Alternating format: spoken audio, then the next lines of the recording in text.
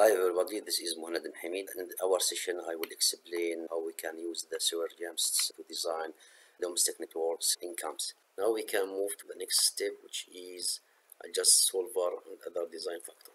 From home tab, this is the option. It is different from the option for the unit. This option is for the solver. And here, in all time, we have uh, software called SewerCAD and StormCAD and also WaterCAD and Clovert and other programs. And now when they make the SewerGems, they actually add for solver one software will work in the GVF uh, convex sewer CAD solver. We use it to solve our network. And again, for the explicit solver, this is to support the SWMM. This is the another software from EPA. They are implicit also solver and we have also the grid variant uh, flow uh, for storm for stormcad so we will have to select this solver. This is our solver and if we have a copy of uh, uh, SewerCAD we can see the same face. Here I want to mention for the SewerCAD when we open SewerCAD or SewerGems we'll see like this storm data or loading and here we will see this is for sanitary. For the storm data we go to component and and say the loading and the storm data immediately we'll think uh, SewerCAD can solve the rain network. Actually this is not right. Uh, doesn't support the full network. There are some trick to add uh, rainfall from uh, inflow control center.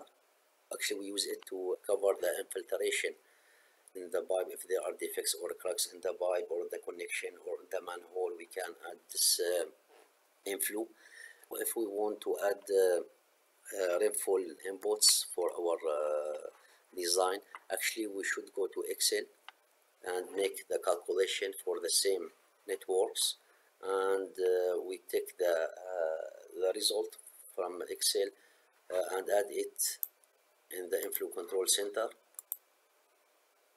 like this. We can into our uh, our network but it will be fixed flow.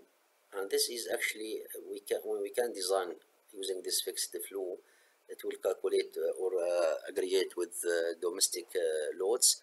But actually this is uh, not correct 100% correct but some colleagues use this method to design for combined system. As we know, we have separate system and combined system, uh, but this is not correct. And if we go to the StormCAD, StormCAD support uh, the rationale method and other methods and design the rainfall uh, networks.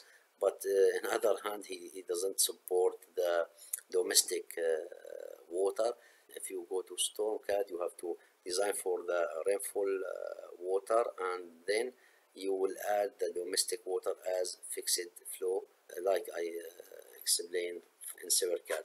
For example, when, when we say the layout in SewerCAD or in SewerGems for the SewerCAD solver, actually we surmised why uh, Bentley add the catchment or add inlets for the SewerCAD because the SewerCAD doesn't using or doesn't support or doesn't solve rainfall networks we will return to home to option to continue in our solver so we have select our SewerCAD and now actually for the steady state actually we design a steady state. Actually there are uh, another another option here for the EPS which mean um, extend period simulation. This is for 20 hour. You can simulate for 20 hours but uh, actually this is for pump station or uh, for the rainfall uh, water. Uh, so now we will stay in steady state. And for here for calculation type actually we have two option this is analysis and this is the design. Actually in our case we will take the design. But uh, for the analysis if we have existing networks or we have old networks and we now try to check it if it is suitable or it is uh, work good actually we leave it analysis and uh, draw our uh, networks in SewerCAD and make our calculation. This is for check and this is for design. Now we will take design and uh, for the other option back analysis no problem. Uh, or some some colleague using uh, capacity analysis uh, can leave it. And uh, now yes this is very important for the loading. If we want to use peak factor we should here use our extreme setup which we added it if you remember from component. Yes everything is good now we can close and uh, again I will just uh, check uh, the flexible table if I added everything. So flexible table I will take conduit and semi yes I select the conduit type conduit class material size what oh it's okay and okay for the Manning as I mentioned in Cerium we use for the uh, corrugated polyethylene 0 0.008 I change it. Now um, I think I'm ready to start calculation. Uh, before I start compute and analysis there are uh, validate or check my networks if there are any mistakes. So we press it there are some mistakes. Actually we forget to add elevation. No problem. As I mentioned before if uh, we can add the, elevation manually we can uh, uh, just select uh, an elevation and we can add uh, for example this is for elevation elevation ground. And we can uh, add it manually or we uh, can open flexible table for the manhole. And you can see this elevation ground and we can uh, edit it direct from here for example.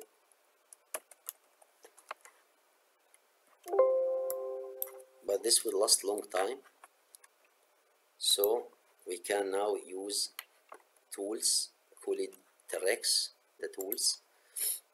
This Trex we can import it from ArcGIS or from CAD or from uh, Civil 3D when we select uh, or press Trex now we can add it at points the X point or the X contour or land XML from the Civil 3D or S3 from ArcGIS or ArcMap or QuickGIS or from Bentley.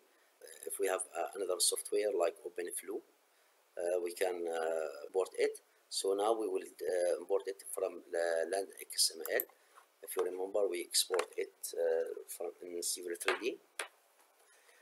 And now we will select this. If you remember, I export if I return to Civil 3D from here if you remember in the my surface I just right click and export it can import it. This is surface open and now I will add meter for the X and for the Z meter also. I will leave it uh, as default and now I will make next. And now he uh, preview the results. I think he discover all and now I make finish if I now select any manhole you can say here this is elevation ground. Here this is set rim to ground elevation. And if this is manhole and this is this we call it rim